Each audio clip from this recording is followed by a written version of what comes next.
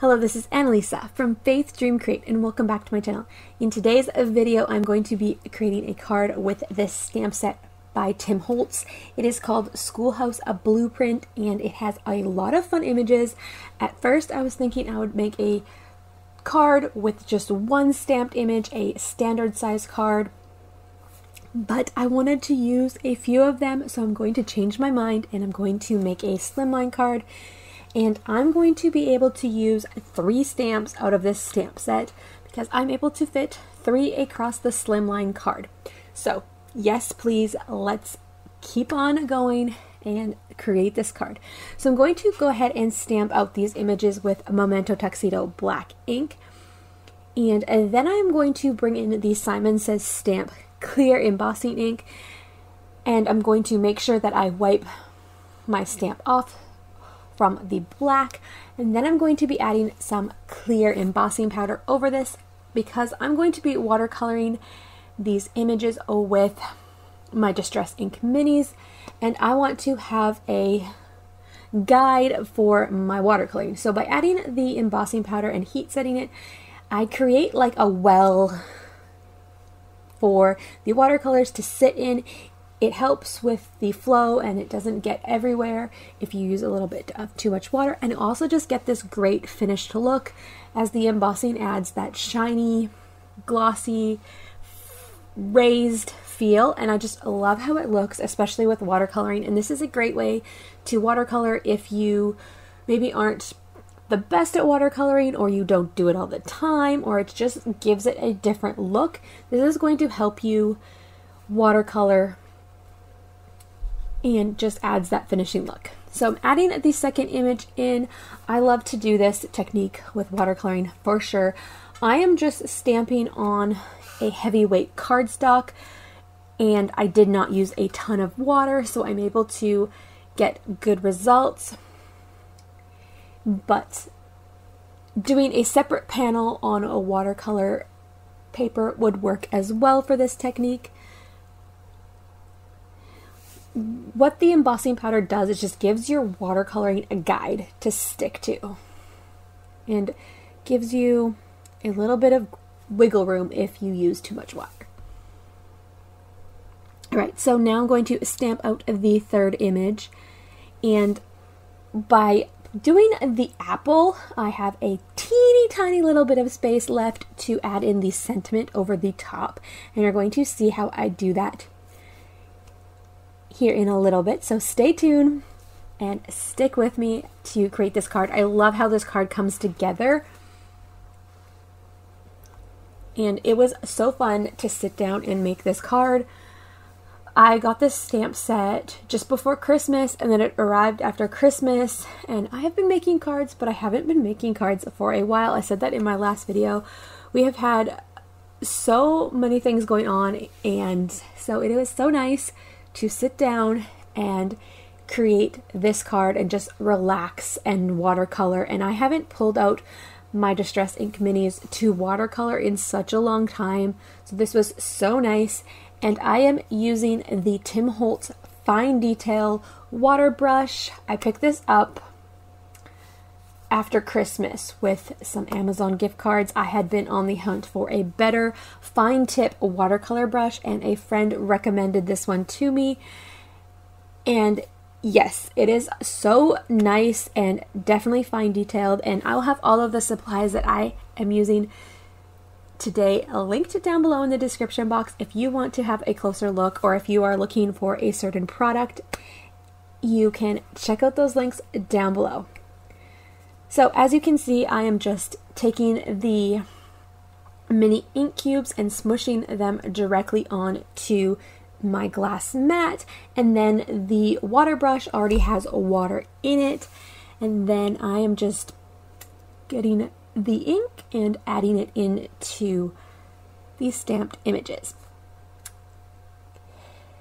And I tried to stick to the same colors of like reds and greens and then you're to see oh, what I do with the books. I definitely wanted to add some more color there, but stick to the same blues as well throughout the image, throughout the images, and just make this fun and vibrant with a lot of color, but I wanted the background to stay white.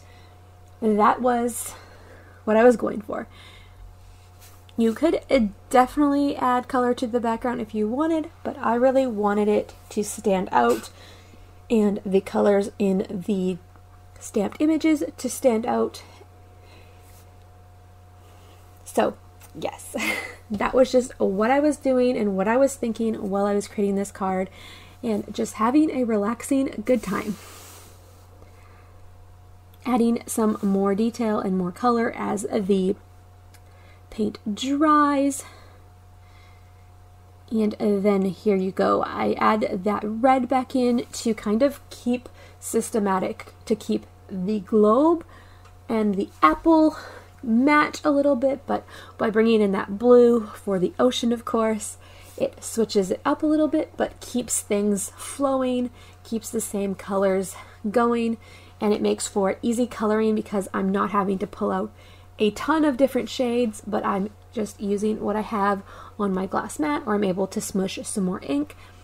So as you can see, I'm adding the red in on the book and then I did have a little bit of overflow here on the fine details. So I just took a Kleenex and I dotted it off and kept on going, made it work. Just go with the flow. So then I'm adding orange in, so I'm going to be creating a, rainbow of books to bring in more colors because rainbow of books is fun. and yes, so I'm actually making this card for my son's support teacher. We homeschool, but we are through a online school, so we do all the teaching at home, but we have a support teacher who checks in with us. We're able to ask them questions about curriculum and or how to teach something if we're if our child is maybe needing help in a certain area and they also give us report cards for all of that stuff. So we are going to be seeing her at next week to wrap up our school year and I wanted to go ahead and give her this card to thank her for all the hard work she has done for our family and just all of the input she has put into our school year. And I thought this would be fun. The globe, the books, and the apple teacher appreciation card for yes. So adding the different colors, added the same green and the same blue in, and now I'm just adding some brown to the books so that the background, the white background, sticks out even more and you just have the white in the background and nothing is getting lost from the images. And then I also added that brown into the labels on the different items here from the blueprint stamp set. And then I'll be adding the sentiment. So for the sentiment, I'm going to be saying thank you. And to do this, I'm going to use the Ranger Emboss It pen and I'm going to write out thank you right over top of this apple. I had just enough room. So I was excited that I was able to add the sentiment on here. So I'm going to write out thank you. Then I'm going to take some clear embossing ink and heat set that. I lost the footage for this part. I thought I was filming, but apparently I wasn't. Uh, but you just add the embossing powder on it like you would at the beginning of the card when I did it with the stamps, but you don't need to add anything. The pen does it for you. Add the embossing powder and then heat set it, and you have that glossy, shiny, raised look on your sentiment or outline of whatever you are doing, and it is so, so cool.